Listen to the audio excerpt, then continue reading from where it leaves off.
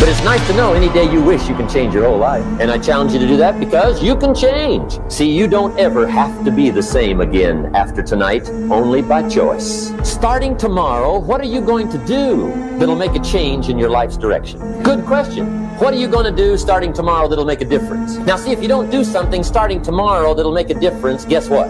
It's going to be the same. And see, that way you can guess what the next five years are going to be like. Look at the last five. Because the next five are going to be like the last five unless you, major key, tomorrow, change it all. Or change a little, or change something, or don't change. It's choice time. You can do whatever you want.